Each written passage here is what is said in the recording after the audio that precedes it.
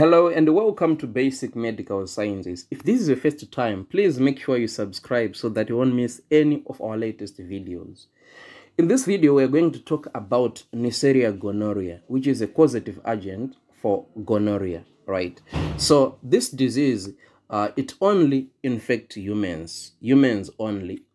Uh, there is no immunity to repeated infections, right? So I'll explain this concept later. I'll explain the reason why we are prone to repeated infections. Right. So uh, on transmission, it's transmitted sexually uh, and it's also transmitted through an infected birth canal. Right. So let's talk about uh, morphology and metabolism of this bacteria. Right. So Neisseria gonorrhea uh, and also Neisseria meningitidis, you need to remember that if a bean-shaped or kidney shaped with concave sides facing each other forming an appearance of a donut right? So this whole sentence is uh buzzer ways like in exam sometimes they say bean shaped or kidney shaped or, or donut right? So if you look here you can see uh, the, a donut shape right? Uh, again it's a gram-negative diplococci it's a facultative anaerobe and is it thrives well in high carbon dioxide environment. Uh, it ferments only glucose, right? This is important. Only glucose, not maltose. If you still remember in the previous video in Neisseria meningitidis, we've seen that uh, Neisseria meningitidis, it ferments glucose and maltose. That's why in the word meningitis, you find G and M. But in Neisseria gonorrhea, you only find G, right? So it only ferments glucose, right? So it's another way to differentiate those two species. Right, so let's talk about the virulent factors, right? So this is very important. Number one is pili, right? Pili is the most important one because it has a lot of function. The first function is for adherence to epithelial cells, the second function is antigenic variation, right? So that's why uh, there is no immunity to repeated infection because uh, there is some kind of a recombination.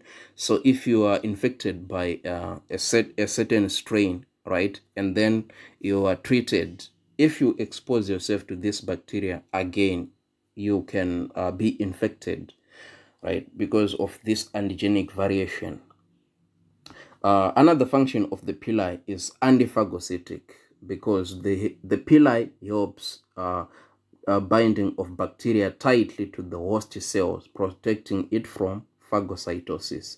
Right. Again, uh, on phagocytosis, I just want to remind you uh, about Neisseria meningitidis. Neisseria meningitidis uh, has an antiphagocytic capsule it is a capsule, a polysaccharide capsule, but Neisseria gonorrhea doesn't have the capsule. I just want you to remember that.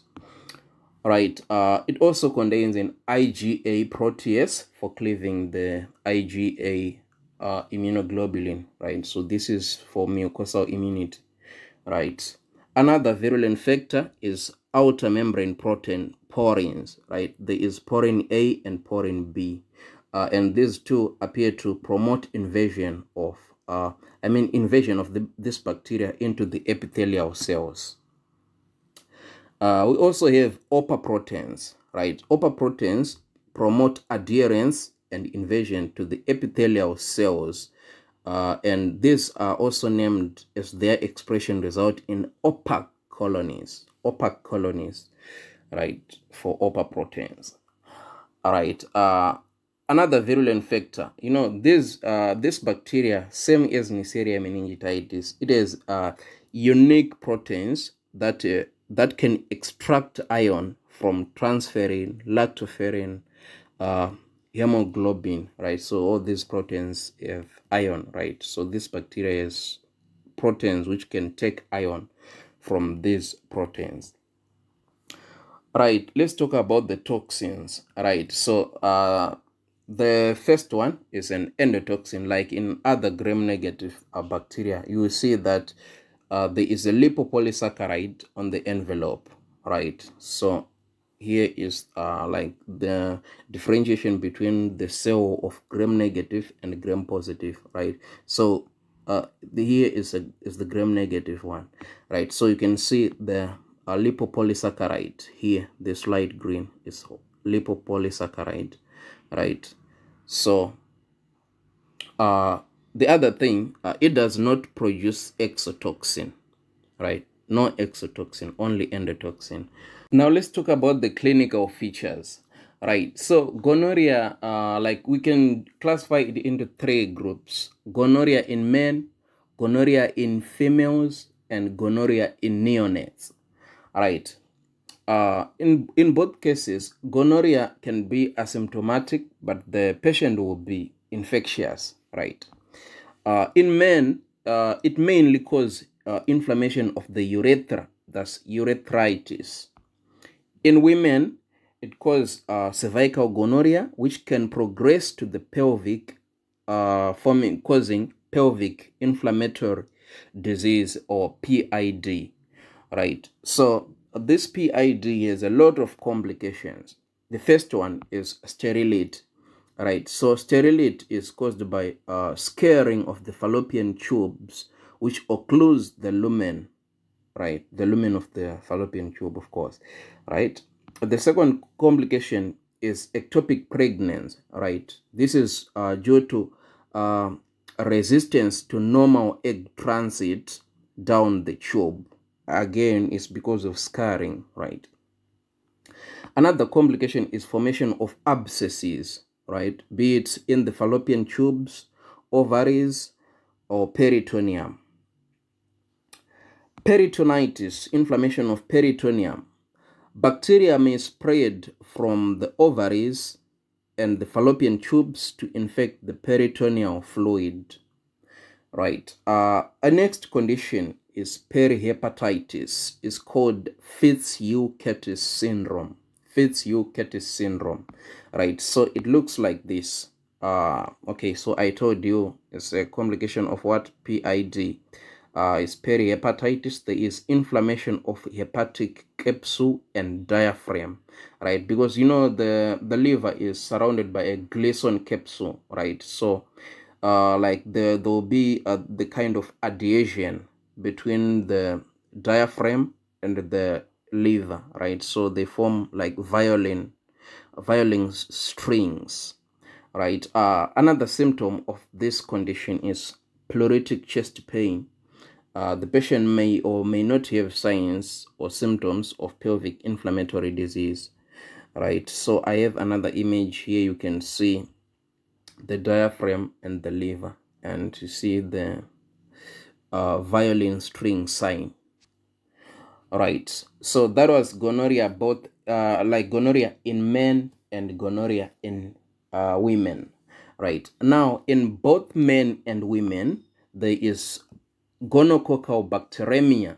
Right. Gonococcal bacteremia.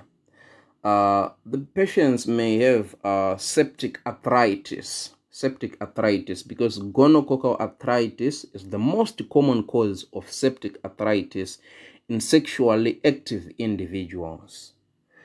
All right? Okay so here uh, there is a knee right? So if you take the synovial fluid from the joint and examine it you see uh, the neutrophils uh, I mean like the bacteria inside the neutrophils or other white blood cells, right? Uh, here you can see this patient with arthritis, right? If you look at these joints, you'll see uh, inflammation of the joints, of course. Right.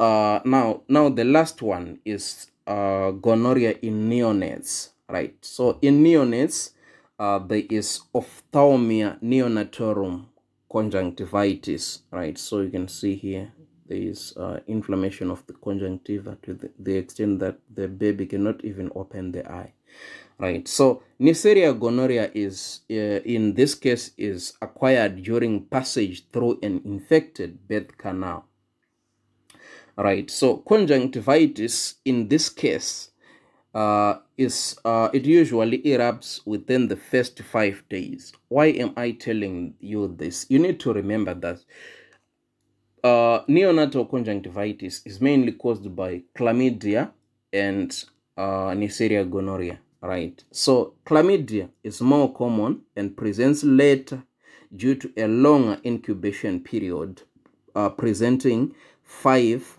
to two weeks post-birth. But in contrast, gonococcal conjunctivitis presents early, often within 24 hours of delivery, uh, until up to five days post-birth. All right, so within five days, you need to remember if it is after um, I mean, after five days, like from seven days, 10 days going forward, then you need to suspect chlamydia. But there are other uh, ways of differentiating these two, right? We'll talk about chlamydia later. Right, let's talk about diagnosis of gonorrhea, right? Gram staining, that's number one. Gram staining of urethral pus reveals the tiny gram-negative donut-shaped diplococci with within the white blood cells. Right, that's the first one. The second method is through culture, right?